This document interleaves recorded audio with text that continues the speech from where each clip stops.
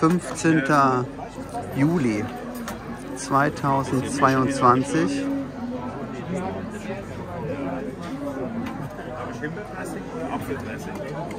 Maischoss, Rochos Mall, Pop-up, Kitchen. René, was hast du heute in deiner Schubkarre mitgebracht? Heute haben wir einen bunten Blattsalat mit Gurken. Dazu habe ich ein Himbeerdressing gemacht aus äh, meine, die Himbeeren aus biologischem Anbau aus meinem Garten. Das aus der Flut bekannte Apfeldressing, was sehr gut angekommen ist. Alles auf Essigölbasis, ohne Mayonnaise. Bei der Hitze verständlich, das muss ein paar Stunden hier stehen, weil man kein Risiko eingehen. Dann haben wir hier einen Speckkartoffelsalat, handgeschnibbelt, wie die Oma das macht. Mediterranen Nudelsalat mit Oliven, vegetarisch. Hier vorne eine kleine Brotauswahl. Hier haben wir ein bisschen Bratwurst für die Vegetarier, einen Grillkäse. Und da hinten gibt es Nackensteaks vom äh, dorfeigenen Metzger. Ja, das haben wir hier heute zum Jahrestag. Also du hast alles aufgefahren, was möglich war. So sieht Ja, es aus. Also, es ist Es fantastisch. war schon wichtig uns, dass wir die Fleischprodukte bei Metzger aus der Region holen, dass wir den unterstützen, weil jetzt, äh, äh, Großkonzerne, wir holen das lieber aus der Region, weil äh, Ja, die das auch äh, finanziell unterstützen wollen damit. Und halt eben, was der Garten so hergibt, selbst gemacht, selbst ge Hinten haben wir noch ein schönes Dessert, eine Beerengrütze auf Vanillecreme, auch aus meinem Garten, die Beeren. Da sind Stachelbeeren, Johannisbeeren, Brombeeren, äh, Blaubeeren drin. Alles, was so im Moment Saison ist im Hochsommer. Ich meine, dein, dein, dein, dein, dein Apfeldressing, das kannte ich ja, das ist ja, Ja. sensationell. Aber dass du jetzt auch Himbeerdressing machst Ja. zum Schubkarrensalat, sensationell. Letztes Jahr hat den Hintergrund, letztes Jahr war ich ja sechs Wochen am Stück hier, konnte ich meine Himbeeren nicht ernten, haben die Vögel die gefressen.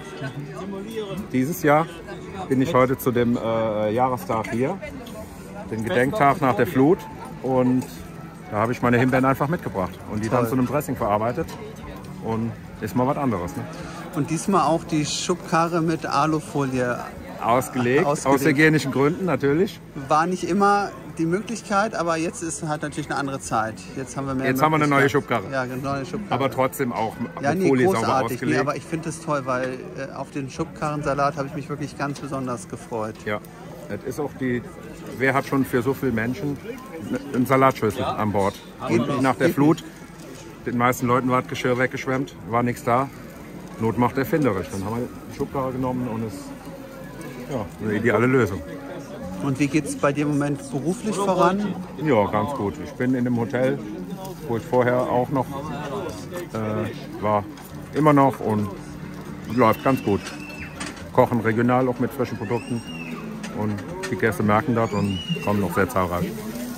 Ja. Und wie geht es dir heute persönlich, ein Jahr nach der großen. Flugkatastrophe?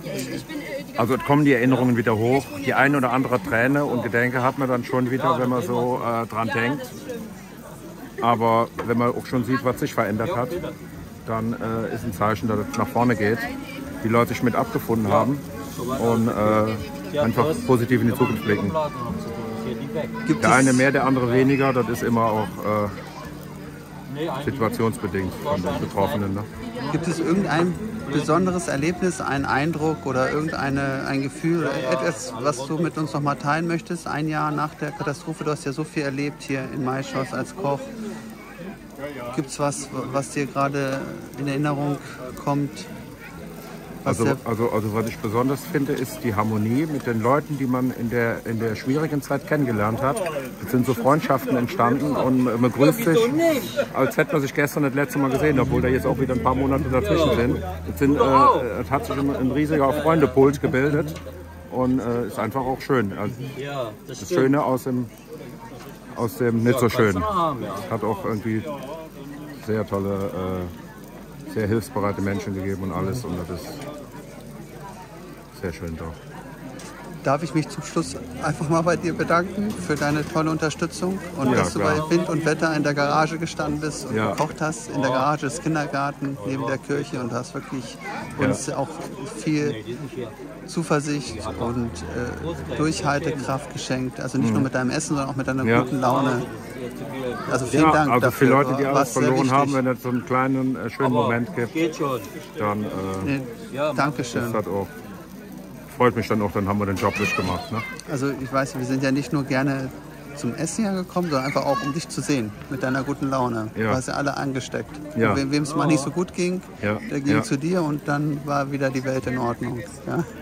Gut, Toll, vielen Dank nochmal. alles klar. Alles Dann Gute. wünsche ich alles Gute für die Zukunft. Dankeschön.